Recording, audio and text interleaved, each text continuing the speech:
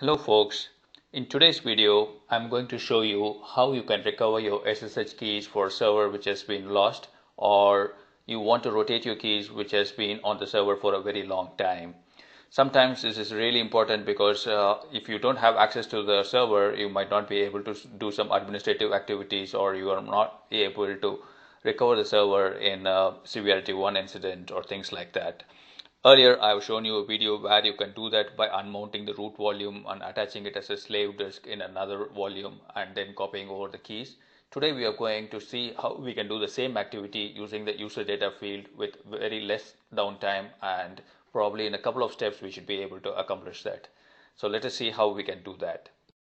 So basically we need a couple of uh, servers for that. The first server I'm going to call it a recovery server with I mean server without key. This is the one we are going to recover or the server without any keys to which you can log in to. And next server is called as the recovery server. I'm just naming it as recovery server so we can refer to it. It's nothing but nothing special. We are going to have access to the server and the keys for this server is available. So basically what we are going to do is we are going to copy the authorized keys from the recovery server and put them into the server without key. So all you have to do is copy this whole text and put it into the user data field and once you reboot the server with a new user data field automatically you should have the new keys copied over. So if I go over to my EC2 dashboard here you have you see that there is one server that is already running. I'm calling it a server without key and it is running a very old key which was created in 2015 and i want to replace this key with a new key. So i'm just going to have uh, the recovery for this server. Um, so that is running as a recovery server here and i have a new recovery key also. This is available with me and this is no longer available with me. So how we are going to do that? I'm going to connect to this server first recovery server. Let us go ahead and do that. So I'm going to connect to a recovery server now. I'm going to put the IP address and make sure the user is EC2 user. And then I'm going to connect it with my private key, which is called as the recovery key. Now, the authorized keys are usually in the home folder of the user that we are going to connect to. So in this case, I'm going to use the home folder of EC2 user. If you are going to recover for, uh, for a different user, then you need to go into the home folder of that user. So it is under SSH and the file name is authorized keys. So what we need to copy is only this much of text and we don't need the tag name for the key itself. So just copy this so that we can reuse it later. So where are we going to update this? If we come back to the github article you will see that i have given the entire content here. All you have to do is copy this and i would like you to change this text within the quotes with the key that you copied from the server. Make sure that this entire text is in a single line. I'm going to show you how you can do that in a notepad file. Copy this over to a notepad.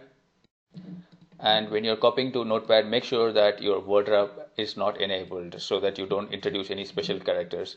So i'm just going to remove this entire text now and let us go to the server now. And remember we are still in the recovery server.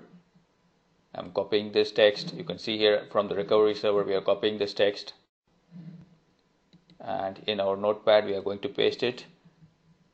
And you see here the text is folded into three lines because we are copying it from a putty screen. And I'm just going to remove any control characters here so that the entire text appears on a single line so we are all done here. I'm just going to copy this now. Come back to your EC2 dashboard and stop this server without key so that we can update its user data field. So it is under stopping state now. Now that my server is stopped I'm going to update the user data field. Let me just go ahead and choose the correct option here view or change user data just going to paste the text that we copied from our uh, notepad file. So you can go ahead and verify it if you want to. Click on save and then I'm going to start the server now. And once it comes up with a public IP address let us go ahead and try and connect. So we are going to use the recovery key to connect to this server now. So this is the key we are going to use and to connect to the recovery server itself. So I'm just going to wait for my public IP address now so we got the IP address let me go ahead and connect to it So let us go ahead and connect to the recovery server. I just created a temporary session. Let me go ahead and edit this session. Let me update the IP address and this is my user EC2 user and let us go ahead and update the private key also to the recovery key and if everything is done correctly I should be able to connect to the server. So this is how you use the user data field for updating the old keys.